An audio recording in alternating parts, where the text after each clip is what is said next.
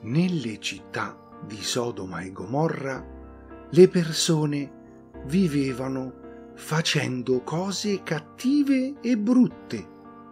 Quelli di Sodoma e Gomorra erano molto peccatori e per questo Dio decise di distruggere entrambe le città. Prima presentò ad Abramo i suoi piani. Abramo gli chiese di avere compassione, di non distruggerle, che forse c'erano uomini buoni lì.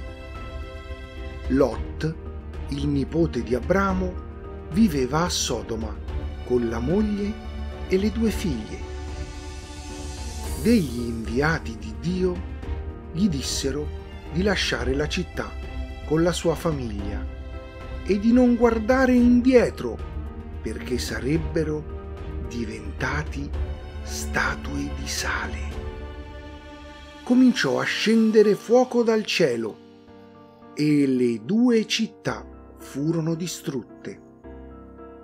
Si salvarono Lot e le sue figlie, ma sua moglie aveva guardato indietro diventò una statua di sale.